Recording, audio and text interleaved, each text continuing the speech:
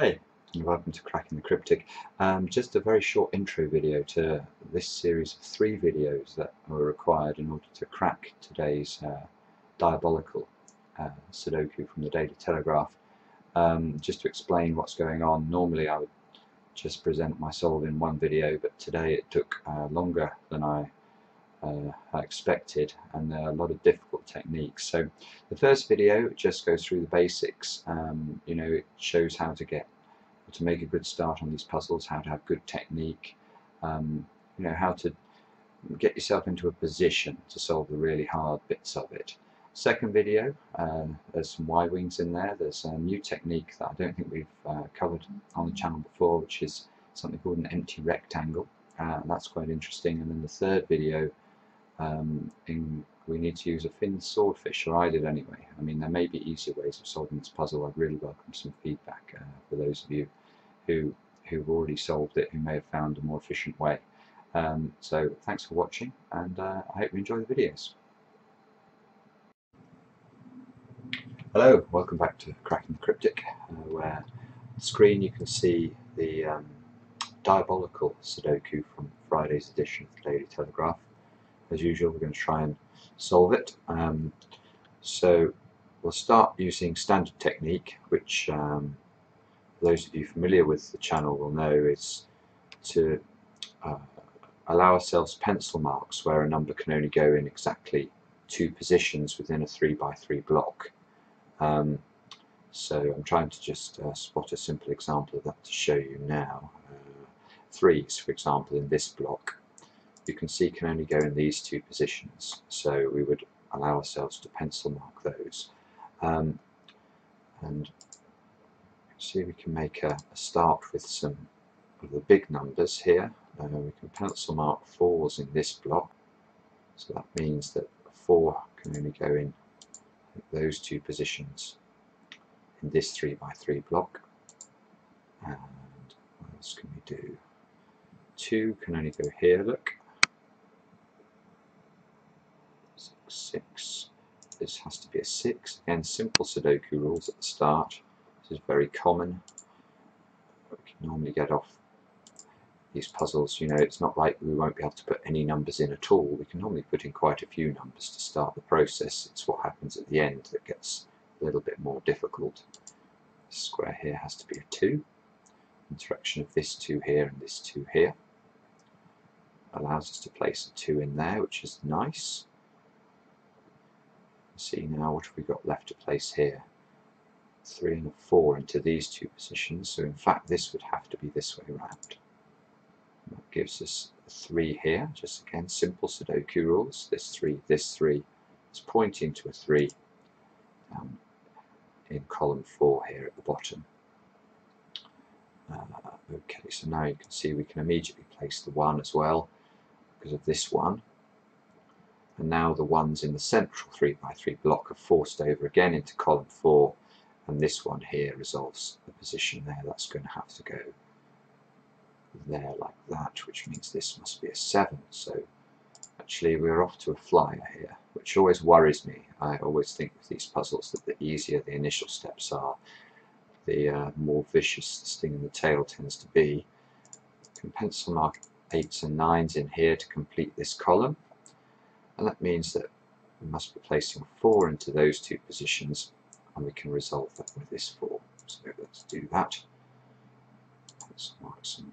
Well, actually, we can resolve this. This square here now has to be a 4, and this square here has to be a 4. I think we may have actually filled in all of the 4s now.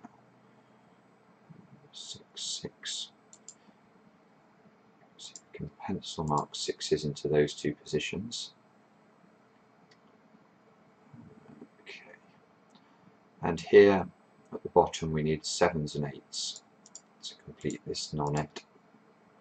So we'll pencil mark those. I would certainly take a look now at uh, row 8 because it's got so many given numbers in it. You can see we need the numbers 1, 3 and 8. Actually, even though we have a 3 here and a 1 here, can't quite see how to complete row 8 at this stage. We'll come back to it later. see we can place a big 2 up here, simple Sudoku rules again. Pencil mark some 2s into those two positions.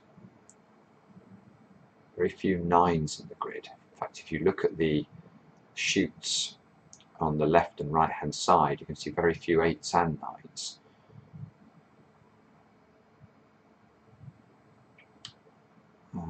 Right, is the next number? Six, six, six, seven, seven, seven. Okay, we can find a 7 here.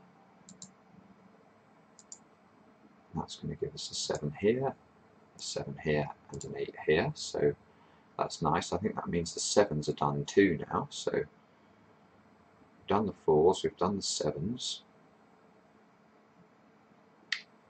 Pencil mark 2s into these two positions. Um, yeah, and we can place a 1 into this position here because of the 1 here and the 1 here. Let's put that in. Pencil mark 1, oops, pencil mark 1's over on the right hand side in this block.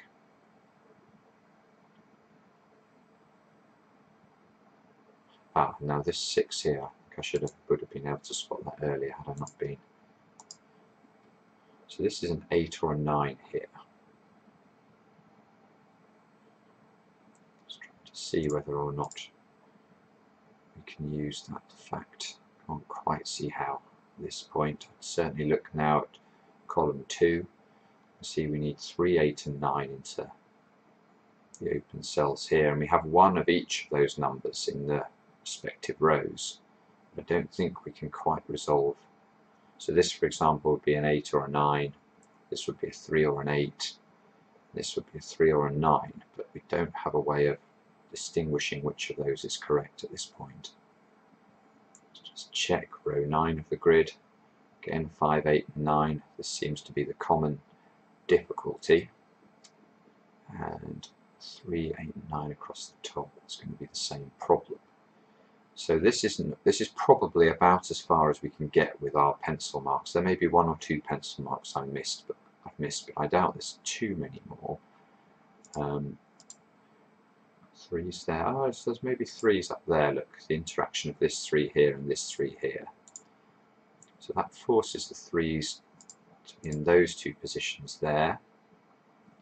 You can see we're not seeing much correspondence between the threes in row 2 and the threes in row 5. Ideally what we're looking for with these pencil marks is if we can find pencil marks that are aligned in the same rows um, got the same columns. So if, for example, you know, we were able to pencil mark that sort of thing into this 3 by 3 block, that would be very helpful because the 3 here uh, would form an X-wing and that would eliminate the option for 3 here. But you can see looking at this bottom block, can't do that. The uh, can't quite force the 3's into the right place in order to uh, utilize that sort of logic.